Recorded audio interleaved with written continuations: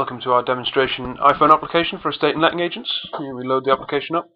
See your logo at the top, uh, a little information icon there, take you through to the Facebook, um, Twitter and About Us pages. Uh, from the top working down, we've got a, uh, an area search here. It can be branch locations or it could be areas uh, from your data feed. Uh, the user can select whether they're looking to buy or rent. A couple of little scroll wheels here to set the uh, minimum and maximum pricing. These change whether the user is selecting a sale or a rental. Uh, property type, here we just, for demonstration purposes, just have house and flat in, but you can have any number of items in there. And the number of bedrooms. Uh, once you select on search, uh, brings back the search results. This is quite quick. We have two results here. If you have a lot of results, it can take a little bit longer. Uh, once the user selects uh, result to get some more information, brings you to a property detail screen.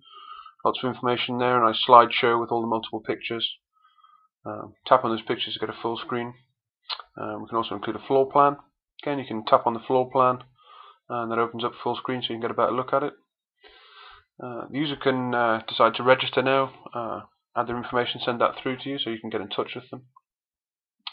Uh, they can view where this property is on the map. This is using standard Google Map uh, interface with the uh, satellite and hybrid views.